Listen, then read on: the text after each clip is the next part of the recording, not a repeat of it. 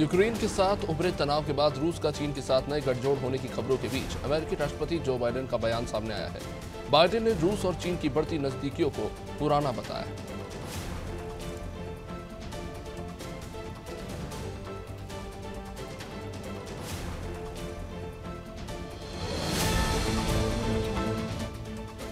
Ukraine पर हमले के लिए रूस अपनी 70 प्रतिशत सैन्य ताकत इस महीने के मध्य तक तैनात कर देगा और इसके बाद किसी भी दिन रूस हमला कर सकता है। यह आकलन अमेरिका के राष्ट्रीय सुरक्षा सलाहकार जैक सुलीवान और अन्य वरिष्ठ अधिकारियों का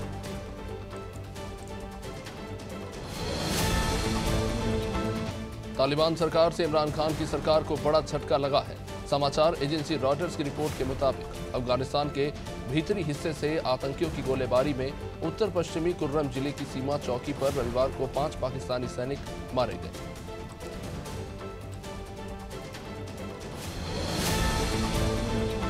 विंटर ओलंपिक का इस्तेमाल राजनीतिक प्रभाव बढ़ाने में करते हुए चीन के राष्ट्रपति शी जिनपिंग ने रविवार को पाकिस्तान के प्रधानमंत्री इमरान खान और पोलैंड के राष्ट्रपति आंद्रजेज ड्रूडो से मुलाकात की है। पाकिस्तान को चीन से नया कर्ज मिलने की फ़िलहाल कोई सूचना नहीं।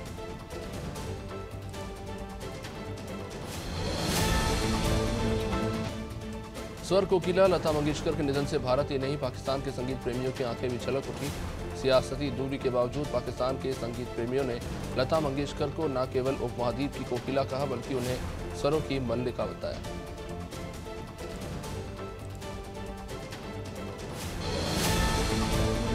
पाकिस्तान के प्रधानमंत्री इमरान खान ने महान गायिका लता मंगेशकर के निधन पर शोक जताया। उन्होंने ट्वीट करके कहा कि लता मंगेशकर के निधन से उपमहाद्वीप ने दुनिया की एक महान गायिका को खो दिया।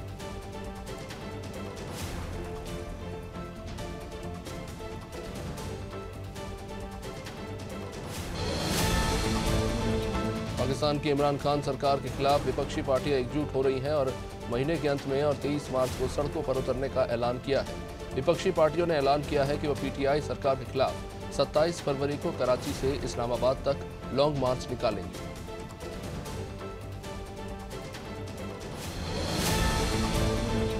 यूक्रेन के साथ जारी तनाव के बीच रूस ने यूक्रेन से लगी बेलारूस की सीमा के पास एस 400 मिसाइल सिस्टम को तैनात किया है, साथ ही दोनों देशों के साथ तनाव चरम पर पहुँच गया है।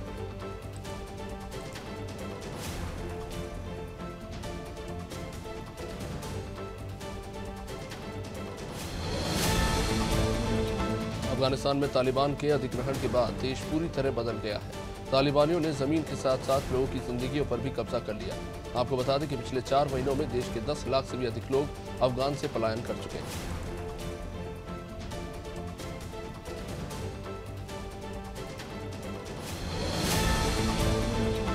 संयुक्त राष्ट्र महासचिव एंटोनियो गुतारेज ने उम्मीद जताई है कि मानवाधिकार संबंधी सवालों की जाँच के लिए मानवाधिकार प्रमुख को शिंजियांग सहित देश के उन तमाम हिस्सों के दौरे की इजाज़त देगा, जहाँ अल्पसंख्यकों पर अत्याचार के आरोप लगाए जा रहे हैं।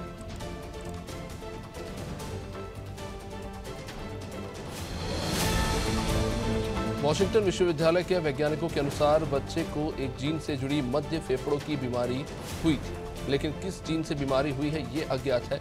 आपको बता दें, बच्चे तो नहीं बचे लेकिन इस सुलझाए गए रहस्य से बीमारी की चपेट में आने वाले दूसरे बच्चे और लोगों के इलाज में मदद मिलेगी। श्रीलंका गंभीर आर्थिक संकट से जूझ रहा है, ऐसे में गोटबया राजपक्षीय सरकार अब विदेशों में बसे श्रीलंकाइयों के सहारे देश को इस संकट से निकालने का रास्ता ढूंढ रहे हैं। इसके लिए उसने अनिवासी श्रीलंकाई में देशभक्ति की भावना जगाने का दाव चला।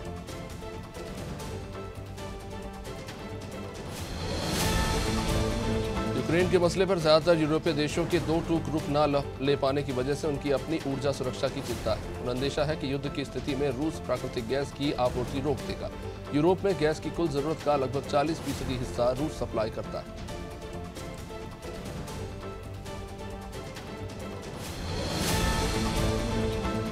रक्षा विशेषज्ञों के बीच आशंका गहरा रही है कि बीजिंग में विंटर ओलंपिक खेलों के बाद चीन ताइवान पर हमला कर देगा। अमेरिकी संसद के सदस्य माइकल मैकॉल के इस बारे में दो टूक बयान के बाद एशिया प्रांत क्षेत्र में ये अंदेशा बढ़ता जा रहा है।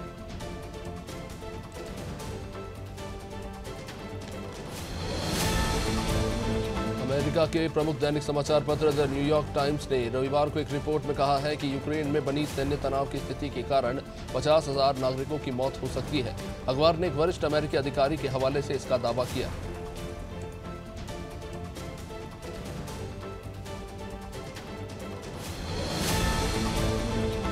संयुक्त राष्ट्र सुरक्षा परिषद की रिपोर्ट में अफ़गानिस्तान को लेकर बड़े खतरे का संकेत दिया गया है। इस रिपोर्ट में कहा गया कि अलकायदा के मारे गए आतंकी ओसामा बिन लादेन के बेटे ने अक्टूबर 2021 में तालिबान से मुलाकात की थी। अफ़गानिस्तान में आतंकियों को अभी जैसी आज़ादी कभी नहीं मिली।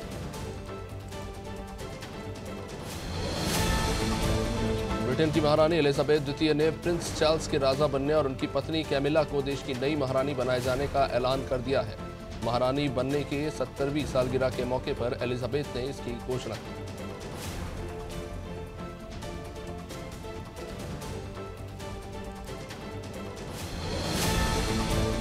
भारत में नफरत और आतंक फैलाना पाकिस्तान का पुराना काम रहा है। रिपोर्ट्स के मुताबिक पाकिस्तान पहले की तरह भारत में अस्थिरता पैदा करने के लिए इस्लामिक कट्टरपंथियों और खालिस्तान की मांग करने वाले अलगाववादी समूहों का समर्थन कर रहा है।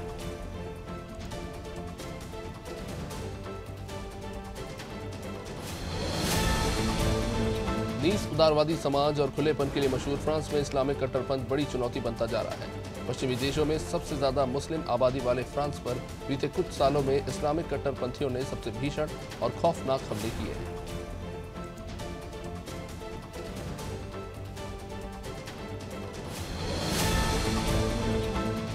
संयुक्त राष्ट्र भारत ने विश्व भाईचारा दिवस पर अंतर्राष्ट्रीय समुदाय से हिंदू फोबिया का मुद्दा उठाया। भारत ने अंतर्राष्ट्रीय भाईचारा दिवस पर वैश्विक आयोजन में कहा कि हिंदू, सिख और बौद्ध धर्म सहित सभी धर्मों के खिलाफ हिंसा का मिलकर मुकाबला किया जाना चाहिए।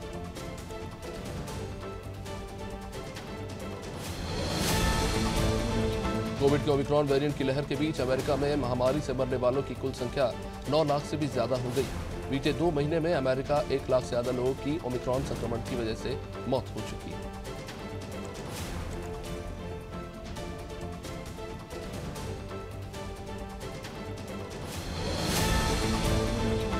पाकिस्तान के अशांत बलूचिस्तान प्रांत में कुछ हथियारबंद हमलावरों ने सेना के दो कैंपों पर हमला कर दिया। जिसके बाद पाकिस्तान सेना ने आतंकवादियों को खदेड़ने के लिए ऑपरेशन चलाया, जो सफलतापूर्वक पूरा हो गया।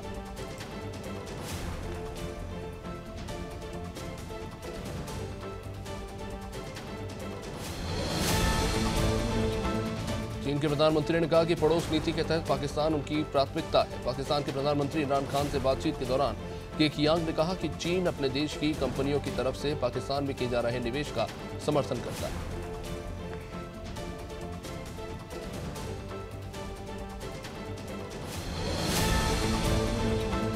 संयुक्त अरब अमीरात में रहने वाली भारत की एक महिला ने लॉटरी में बड़ी रकम जीती। बताया गया है कि केरल के थ्रीसूर की रहने वाली लीना का लॉटरी टिकट मेगा ड्रॉ के लिए चुना गया है और उनके टिकट पर दो दशमलव बीस करोड़ दिरहम की प्राइस मनी निकली।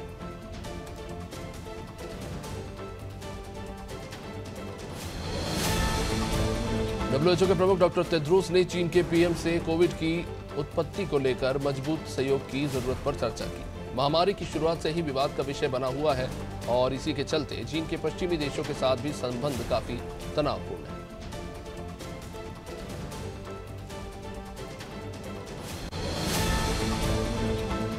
देश में कई दिनों बाद कोरोना के एक लाख से भी कम मामले सामने आए हैं। स्वास्थ्य मंत्रालय ने बताया है कि देश में बीते 24 घंटे में कोरोना संक्रमण के तिरासी मामले सामने आए हैं। इसके अलावा कोरोना के कारण आठ लोगों की जान गई।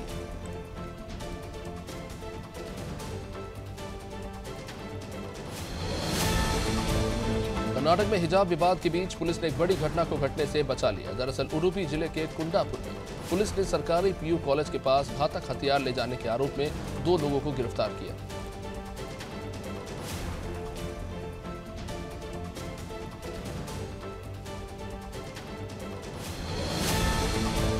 तो भारत में लगातार बदलते मौसम के बीच रविवार को दिन भर चटक धूप खिली रही। सोमवार को तापमान में और बढ़ोतरी होने की भी संभावना है। हालाँकि बुधवार से मौसम फिर करवट लेगा। मौसम विभाग की माने तो बुधवार से बारिश होने का भी अनुमान है।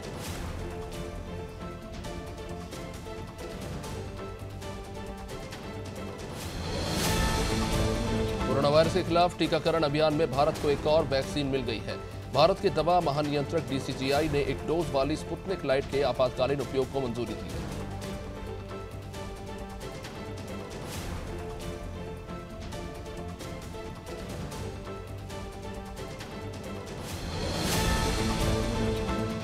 दिल्ली में पिछले 24 घंटों में 1,410 नए कोरोना के मामले सामने आए हैं। इस दौरान 14 मौतें और 2,506 रिकवरी भी दर्ज हुई है। राज्य में कोरोना के सक्रिय मामलों की संख्या आठ है। वहीं केरल में पिछले 24 घंटों के अंदर छब्बीस कोरोना के नए मामले सामने आए हैं। केंद्र सरकार के सभी कार्यालयों में सोमवार से फिर से शत प्रतिशत उपस्थिति सुनिश्चित की जाएगी। केंद्रीय कार्मिक राज्य मंत्री जितेंद्र सिंह ने कहा है कि कोरोना संक्रमण के मामलों में कमी को देखते हुए ये फैसला लिया गया।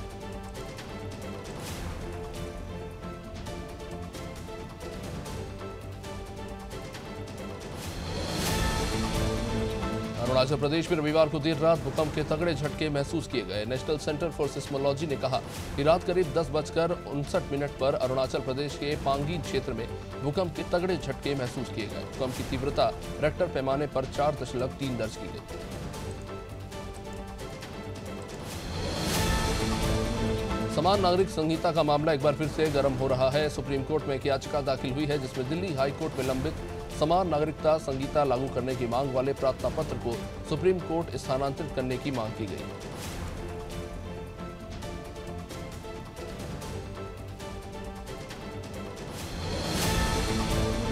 सुप्रीम कोर्ट ने अपने फैसले में आंध्र प्रदेश डिस्कॉम को फटकार लगाते हुए कहा है कि राज्य की कंपनी ने जनहित के बजाय उसके ही खिलाफ काम किया।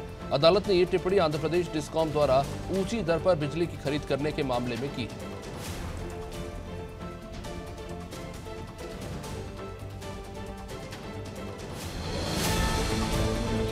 सैनिक स्कूल सोसाइटी 100 नए सैनिक स्कूलों में प्रवेश पाने के इच्छुक विद्यार्थियों को ऑनलाइन परामर्श प्रदान करने के लिए एक स्वचलित प्रणाली विकसित कर रही है। रक्षा मंत्री ने बताया है कि रक्षा मंत्रालय ने बताया है कि ई काउंसलिंग के लिए स्वचालित प्रणाली दाखिले की प्रक्रिया में पूर्ण पारदर्शिता सुनिश्चित करेगी। ओवैसी के काफिले पर हमले के बाद से हैदराबाद में उनकी सलामती की दुआ मांगी जा रही है। इसी बीच खबर यह है कि एक बिजनेसमैन ने उनकी लंबी उम्र और सुरक्षा के लिए दुआ तो मांगी ही 101 बकरों की बलि भी चढ़ा दी। ओवैसी की सलामती की दुआ मांगी गई।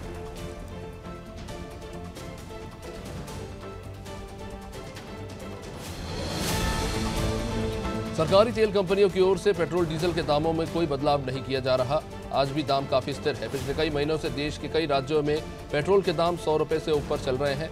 देश में तेल के दाम अभी भी आम आदमी की जेब पर असर डाल रहे हैं।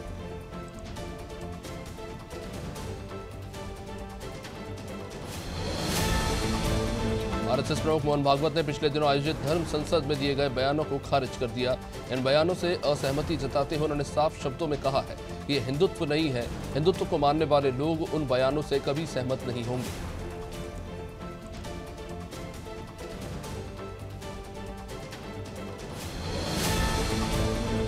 कोरोना वायरस के अब तक 400 से भी ज़्यादा स्वरूप पूरी दुनिया में मिल चुके हैं, लेकिन इनमें से कुछ ही जन स्वास्थ्य के लिहाज से गंभीर है।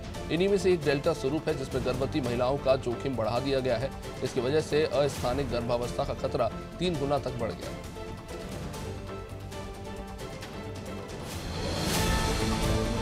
रैली और जनसभाओं पर बंदिशों के बीच मणिपुर में भी चुनावी वातायन खुलकर, खुल चुका है। प्रमुख लड़ाका पार्टियाँ भाजपा और कांग्रेस अपने पूरे दमखम के साथ मतदाताओं तक पैड बनाने में जुटी हुई है। एनपीपी, एनपीएफ जैसी तमाम खास क्षेत्रीय पार्टियों के अलावा वामपंथी खेमा भी पीछे नहीं। है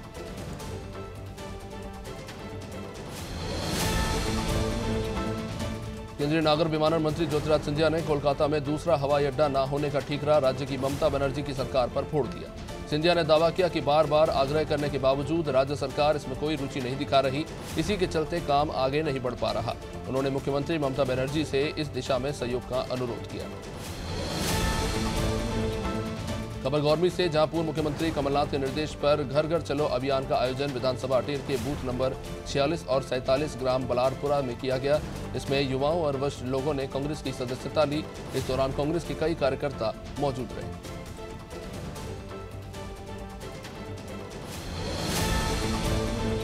सागर के बंडा से एक चौंकाने वाली खबर सामने आई है, जहाँ खुदाई के दौरान बोरवेल से पानी की जगह आग निकलने लगी, जो कि ज़मीन से लगभग 20 फुट ऊपर जा रही थी।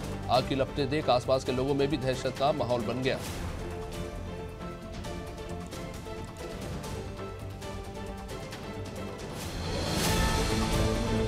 राजस्थान की ग्राम पंचायत गोरखपुर में सरपंच और सचिव की मनमानी के कारण ग्रामीणों को सरकारी योजनाओं का लाभ नहीं मिल रहा। ग्रामीणों का आरोप है कि हमें प्रधानमंत्री आवास योजना से आज भी वंचित रखा गया है जो सरपंच और सचिव को पैसे देते हैं। उन्हें ही प्रधानमंत्री आवास योजना का लाभ मिल पाता है।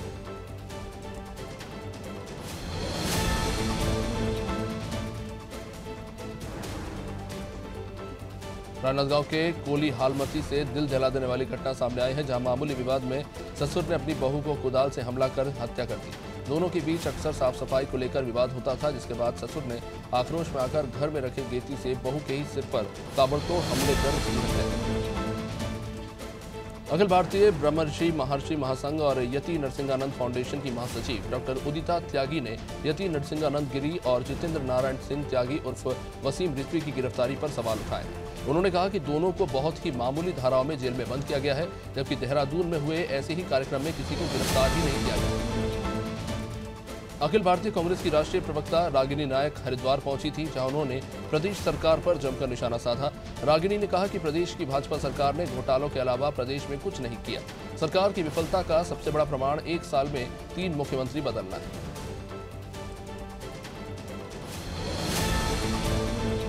रक्षा मंत्री राजनाथ सिंह ने यूपी के महोबा में जनसभा को संबोधित किया। महोबा ज़िले की सदर विधानसभा से राकेश गोस्वामी बीजेपी प्रत्याशी हैं।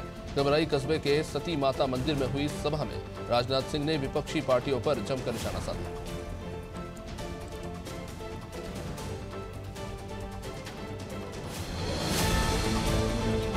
लखीमपुर खीरी ओवरटेक करते वक्त एक बस अचानक से अनियंत्रित होकर पलट गई। इस हादसे में एक यात्री की मौत हो गई है और कई यात्री गंभीर रूप से घायल हो गए हैं। घटना की जानकारी मिलने के बाद पुलिस वहाँ मौके पर पहुँची है और मौजूद लोगों की सहायता से एंबुलेंस से सभी घायलों को जिला अस्पताल में भर्ती कराया।